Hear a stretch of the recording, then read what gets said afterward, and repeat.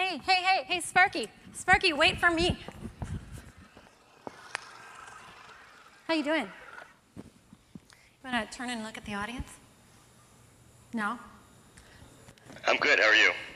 I'm good. Um, so would you like to would you like to introduce yourself to these beautiful people?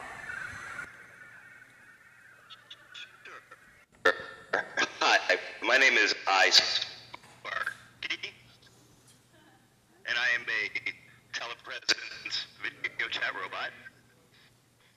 We are uh, demoing a prototype today. iSparky is made using an iPad 2 and iRobot Create, Apple's FaceTime, and some custom code that we're trying to get approval in the App Store. So, so Sparky, what do you think the relationship between man and machine is?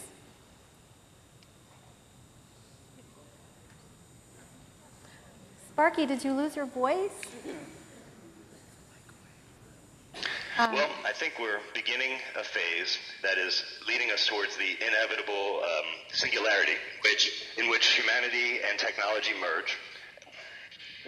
In your Currently, we're all familiar and comfortable with uh, medical technologies.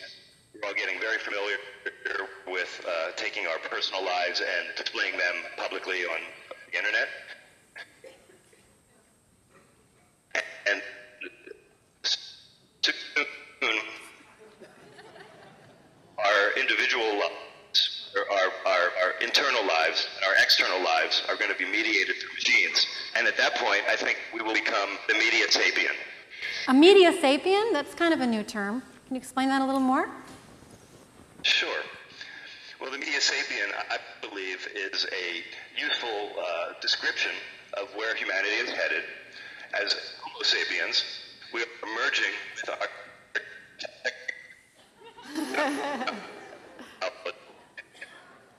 He's talking, all right, it's the microphone. and our media. And I think it's inevitable that in the future, be unable to separate our media cells from our organic cells.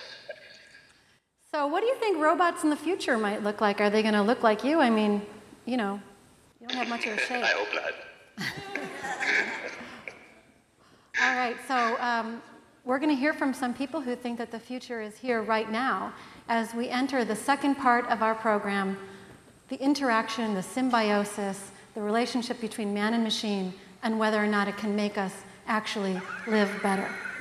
Let's go on with the show.